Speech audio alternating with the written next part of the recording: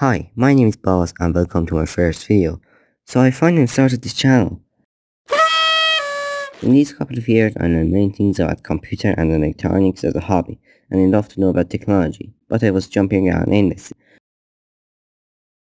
I want to use the things I learned to make something useful and helpful for others and myself, so I choose YouTube.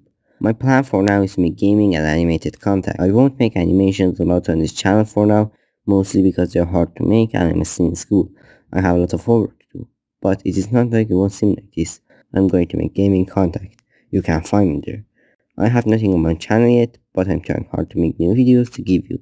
I think this video has ended and I hope to see you later. Goodbye.